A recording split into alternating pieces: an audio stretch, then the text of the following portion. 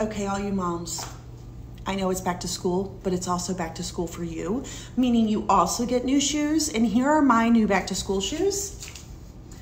These are my most favorite Birkenstocks that I have ever worn.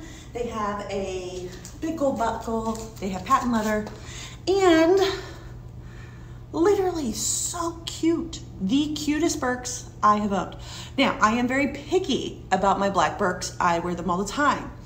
Uh, this has been very hard to find. I had to twice try to buy them and they sell out relatively fast.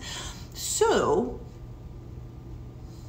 I highly suggest you get these as your fall Birks to winter Birks because these Birks are my favorite.